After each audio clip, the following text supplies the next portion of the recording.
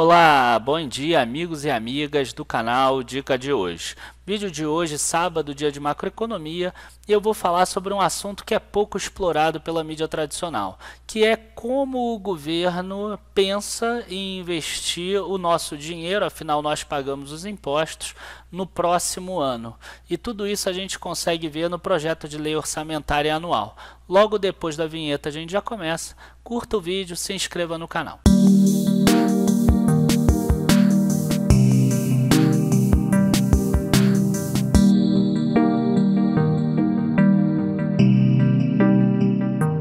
Bom, sempre que a gente fala sobre o orçamento anual do governo federal, a gente precisa pensar como ele funciona. Ele nada mais é do que uma forma de previsão. Então o governo prevê quanto ele vai arrecadar nesse próximo ano e quanto ele vai ter de despesa no próximo ano. Ele ainda não sabe quanto ele vai arrecadar nem quanto ele vai ter de despesa. Então ele parte de algumas premissas que a gente vai ver, mas no final o que, que a gente tem? Que a quantidade de despesa vai ter que ter a mesma quantidade de receita. Nem que tenha que contrair novas dívidas para pagar essas despesas porque todos os gastos que são feitos eles vão precisar ser pagos. Então a gente vai ter essas duas contas batendo.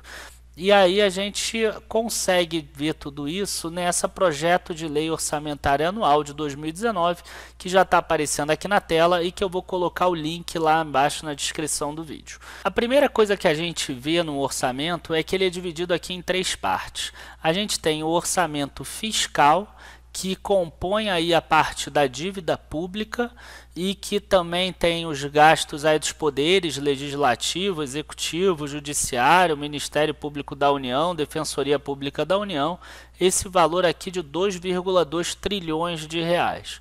Depois a gente tem o orçamento da Seguridade Social, 1,1 trilhão de reais, e que não tem apenas a parte de previdência, tá? Aqui eu estou falando de seguridade como um todo.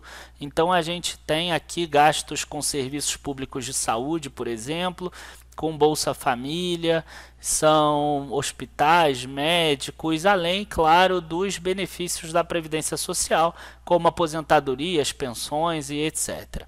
E a gente ainda tem aqui o orçamento de investimento das empresas estatais, que é o dinheiro que o governo investe em empresas como o Banco do Brasil, Petrobras, Caixa Econômica, Eletrobras e várias outras empresas estatais aí até de portes menores. Esse orçamento total previsto para 2019 é 3,4 trilhões de reais. Para a gente ter uma ideia, o PIB dos últimos 12 meses está aí girando em torno de 6 trilhões e meio Tá? E esse valor de 6 trilhões e meio, a gente não tem uma carga tributária, pelo menos ainda, tá acima de 50%. Então, boa parte desse orçamento vai ser custeado à base de dívidas. Outra parte é a parte de impostos e contribuições e taxas que nós pagamos para que os governantes possam ter dinheiro para trazer aí os benefícios que a população espera e que na minha visão, eles não conseguem fazer há muito tempo. É importante citar também, antes da gente continuar, que esse projeto ele vai virar uma lei orçamentária anual e ele é votado e tem que ir para o presidente sancionar até o dia 22 de dezembro. Então, até lá, vão haver outras avaliações bimestrais para ver se as premissas se mantêm e os, os, deputados, senadores, os parlamentares, eles podem fazer algumas alterações que eles queiram. Quais foram as premissas usadas para fazer essa proposta de lei orçamentária? A gente tem aqui a inflação no período 4,2% esperada para o ano que vem, crescimento do PIB 2,5%, taxa de câmbio média R$ 3,62. Quando a gente vai aqui no boletim Focus, a gente vê que bate mais ou menos. A gente vê que o PIB aqui 2,50% para o ano que vem. A inflação eles botaram 4,20 hoje, a expectativa é 4,11 e a taxa de câmbio média está lá como 3,62, a expectativa é 3,70. Enfim, na IPCA eles foram um pouco mais pessimistas, no câmbio um pouco mais otimistas, mas o que importa aqui é que são premissas que são válidas, premissas que estão dentro daquilo que o mercado espera. Isso é uma coisa positiva. Enquanto isso, o salário mínimo aqui a gente vê que vai ter um reajuste para R$ 1.006, hoje ele é 954 reais. Então a gente vai ter aqui um aumento de 5,45%, inclusive com um ganho real. Ele vai estar tá sendo reajustado acima da inflação. Lembrando que esse salário também acaba impactando as contas da Previdência Social. É importante citar também que as receitas e despesas no orçamento fiscal e da Seguridade Social, elas se dividem em duas partes. Você tem a parte primária e você tem a parte financeira. As receitas primárias correspondem às provenientes da arrecadação tributária com impostos, taxas e contribuições, assim como receitas que o governo consegue gerar por meio do seu próprio patrimônio, como aluguéis e dividendos, por exemplo. Já as despesas primárias são gastos do governo para prover bens e serviços públicos à população, além dos gastos necessários para a manutenção da estrutura do Estado.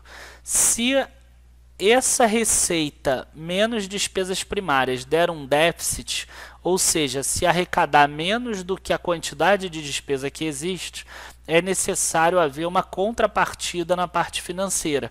Ou seja, na parte financeira, o governo vai ter que contrair mais dívida do que vai ter de gasto em dívida para custear esse Estado que está gastando mais do que arrecada, assim como acontece na nossa casa. Então vamos ver aqui como é que funciona isso. A gente vê aqui que o Brasil está recebendo 1 trilhão 574 bilhões de impostos taxas, contribuições, aluguéis, dividendos e etc. E está gastando 1 trilhão e 700 bilhões. Então a gente vê aqui um déficit primário de 139 bilhões. É aquele superávit primário que a gente teve lá atrás, por um período bem grande, que fez o Brasil crescer, principalmente lá de 2003 a 2013, mais ou menos. Ele se perdeu. E é uma das consequências quando ele se perde, quando você tem um Estado que gasta mais do que arrecada, que ele tem que reduzir gastos. Então o país como um todo acaba crescendo menos. E é isso que a gente está sentindo ultimamente. E as empresas que a gente investe na Bolsa também estão sentindo. O que é importante a gente citar aqui é o déficit da Previdência aqui vai subir mais um pouco, vai chegar em quase 220 bilhões. E essas despesas discricionárias aqui, que são despesas que o governo tem capacidade de mexer, que não são despesas obrigatórias. Por exemplo, os benefícios da Previdência Social, o governo ele não pode me mexer sem mudar a lei, ele é obrigado a pagar. Despesas de pessoais e encargos, ele é obrigado a pagar. Aquele valor que ele recebeu dos estados e dos municípios, ele é obrigado a repassar transferências intergovernamentais e aqui é o que ele pode mexer. Então, quer dizer, a margem de manobra do governo está cada vez menor. São 112 bilhões. Enquanto isso, a gente vê aqui a parte financeira correspondendo à mesma variação aqui. Ó. Ela tem um superávit de 127 bilhões. Por quê? Porque é a parte que o Brasil vai ter que pegar a mais, vai ter que contrair a mais de dívida. Ele vai rolar 758 bilhões de dívida e vai contrair 928 bilhões de dívida nova. Tá? 666 bilhões para pagar juros e amortização. É claro que aquela dívida que você contrai para pagar amortização, ela não aumenta completamente, porque diminui do total da dívida, e ainda para pagar de mais gastos aqui. Vamos ver agora alguns dos gastos que o governo faz, e eu espero que vocês não fiquem chateados. Bom, vamos começar por aqui. Por exemplo, judiciário no Brasil. Para o próximo ano está estimado gastar 37 bilhões de reais com o judiciário no Brasil. A gente está falando de a maior parte com Justiça do Trabalho, depois a gente tem 27% com Justiça Federal, 17% com Justiça Eleitoral. Isso aqui a gente está falando de 6 bilhões de reais com Justiça Eleitoral, por exemplo. E depois a gente tem os superiores tribunais de justiça, justiça militar e etc. A gente tem aqui legislativa. A gente tem 8,3 bilhões com gastos da Câmara dos Deputados e do Senado Federal. E aqui a gente não está incluindo pessoal e encargos, tá? A gente está colocando os gastos na Câmara e no Senado. Ainda tem aqui que se acresce 7 bilhões gastos na presidência. Então, só aqui, se a gente conseguisse cortar aí uns 30% desses gastos todos, a gente já estaria falando de uma economia em torno de 20 bilhões de reais. A gente passa aqui para a parte da dívida, que é uma parte muito grande também. E aí a gente vê aqui que a dívida tem 1,8 trilhão de reais para serem gastos com a questão da dívida. Olha só, a gente vai ter refinanciamento da dívida interna, serviço da dívida interna, outras transferências, outros encargos especiais, enfim, 1 trilhão e 800 bilhões de reais, que foi o que a gente falou lá atrás, tá? E é muito significante isso. Outra questão aqui que é interessante também é que o governo gasta 30 bilhões, ou pretende gastar 30 bilhões em 2019, com ações de gestão e manutenção de órgãos do governo, incluindo, por exemplo, o pagamento de pessoal ativo da União e administração de unidades. Ó, como o Ministério da Fazenda, transferências a estados para os estados e municípios pagarem isso dos próprios estados, Ministério do Planejamento, Advocacia Geral da União, enfim. Além daquele dinheiro de cada um dos ministérios, ainda tem essa parte com relação à administração 30,7 bilhões de reais para esses ministérios que não tem gasto de administração dentro deles. Aí a gente vem aqui para a parte da previdência social. São 734 bilhões de reais. Ele difere um pouco daquele que a gente viu lá atrás, porque são 637 bilhões, como a gente viu lá, para o regime geral da previdência social, esse que é gerenciado pelo Instituto Nacional do INSS. Tá? Isso são 637 bilhões. Além disso, a gente ainda tem outros gastos, que são os outros regimes de previdência. Então a gente tem aqui, ó, 637 bilhões da previdência básica e a gente ainda tem aqui 13 bilhões, ó, quase 100 bilhões de gastos do, da previdência do regime estatutário. Tá? E dentro desse aqui da previdência básica, a gente tem aqui ó, 132 bilhões para benefícios previdenciários rurais e 486 bilhões para o pagamento de benefícios previdenciários urbanos. Por isso que algumas pessoas falam que o déficit da previdência urbana não existe, porque tem 486 bilhões urbano e ela arrecada mais ou menos isso. Então a gente vê que talvez não existia, agora já começa a existir. O que a gente está falando sempre, né? A bola de neve vai aumentando sempre. E como um todo, a Previdência Social ela tem aquele déficit lá que a gente viu de 200 e poucos bilhões de reais. Aí a gente pode passar para alguns ministérios que são mais importantes assim, vamos dizer. Ó. Então a saúde recebe 114 bilhões de reais, e eu vou chamar atenção aqui para 8% em administração. Tá? Isso aqui são 10 bilhões de reais de gastos fora da saúde, ou seja, para administrar essa máquina pública. A gente tem aqui 114 bilhões de educação, tá? E a gente percebe aqui que a maior parte é ensino superior. E ainda tem aqui transferência para educação básica 15%, mais educação básica 5,5%, em segundo lugar, a gente vê aqui a educação básica. Tá? Então a gente percebe aqui que são os dois maiores, educação e saúde. E a gente tem um muito grande também aqui na Defesa Nacional, 74 bilhões. Quando eu falo que é o principal, é tirando de serviços da dívida e tirando a Previdência Social. 74 bilhões na Defesa Nacional, maior deles no Exército. E aqui a assistência social também é muito alto, 92 bilhões de reais. E aí nessa assistência social, a gente vê aqui assistência ao portador de deficiência, assistência comunitária e assistência ao idoso. Isso tudo tem gasto aí 92 bilhões de reais. E aqui a gente coloca, por exemplo, o programa Bolsa Família, estimando-se um valor de 29 bilhões de reais para serem gastos esse próximo ano de 2019. Agora eu vou passar alguns outros e eu quero ficar de olho na parte da administração, tá? Então a gente tem aqui, Ministério da Agricultura, por exemplo, ó, administração 22% de 26 bilhões. A gente está falando aí de mais de 5 bilhões de reais. Imagina se fosse uma empresa, Ministério da Agricultura, com uma administração tão alta desse jeito. E agora a gente vai falar da máquina pública, né?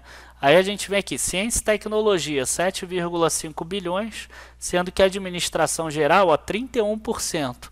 Imagina você abrir uma empresa de ciência e tecnologia e você gastar 31% de despesas administrativas. No mundo corporativo era uma piada, né? Então, 2 bilhões e 200 milhões aqui em administração. Comunicação, 1,5 bilhão, é um orçamento menor, mas 56% é gasto com administração. Quer dizer, mais da metade do dinheiro não é usado para comunicação, é usado para administração pública, para pegar a máquina aí do Estado. Mais de 750 milhões vão ser gastos com a máquina pública e a menor parte com desenvolvimento tecnológico engenharia, com telecomunicações, com tecnologia da informação, que seriam gastos muito melhores e muito mais bem-vindos para a sociedade como um todo. Aí a gente vem aqui para a cultura, 1,9 bilhão. A gente tem 36% de novo na máquina pública. Será que não seria melhor passar isso para difusão cultural, patrimônio histórico, artístico, arqueológico? A gente acabou de ver um museu que foi incendiado. Enfim, 1,9 bilhão, a gente já está falando aí de mais 600, 700 milhões aqui em administração. Desporto e lazer, 815 milhões, um, um dos menores orçamentos que tem. Mas está lá de novo, ó, 24% de administração geral. Enfim, gente, a gente poderia mostrar todos aqui ó, e vocês vão ver que todas as administrações, tirando a de saúde, que é um orçamento muito grande, 114 bilhões, eles são no mínimo acima de 15%. Tá? Então, a gente percebe como a máquina pública é inchada no Brasil, a gente percebe quanto custa o judiciário no Brasil, a gente percebeu quanto custa a presidência, o Senado, deputados aqui no Brasil, a gente percebeu também que o Brasil está gastando mais do que ele arrecada e quando a gente pensa na nossa casa e a gente gasta mais do que a gente arrecada, a primeira coisa que a gente faz é tentar conter os custos. Enquanto isso, a gente percebe dos nossos governantes o contrário. Eles tentam conter os custos que são relativos à população, mas a parte da máquina pública, de administração e até mesmo lá dentro do judiciário e do executivo, a gente percebe que eles aumentam aí esses gastos. Então é importante a gente deixar esse alerta. É muito mais do que o salário do presidente ou do deputado ou a verba de gabinete. É toda uma estrutura que está engessada dentro do ministério. Porque é muito simples você chegar e parar o salário do presidente ou e mostrar que você está fazendo uma contenção de despesa, inclusive na própria carne, quando você tem uma máquina pública aí, que você tem aí 20, 30% de gastos com gastos administrativos. Quer dizer, com coisas que não trazem benefício à sociedade, seja em cultura, seja em esporte, seja em lazer, seja em ciência e tecnologia, seja na defesa nacional. Enfim, pessoal, muito obrigado aí a todos. Abraços, bons investimentos na segunda e desculpa o vídeo mais longo aí um pouco. Tchau, tchau.